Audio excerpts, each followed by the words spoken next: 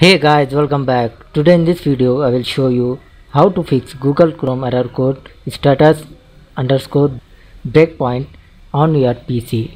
So for this guys first open your Chrome browser and type in the search box address bar Chrome colon double forward slash flags Chrome colon double forward slash flags and hit enter on your keyboard so guys as you can see here reset option. Click on reset all. And then click on relaunch. Hopefully guys after this it will fix your problem. And if not work you try the second method.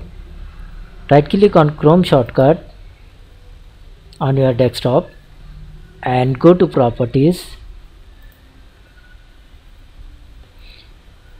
Go to compatibility click on run compatibility troubleshooters and wait for complete this process. Hopefully guys this time it will fix your problem.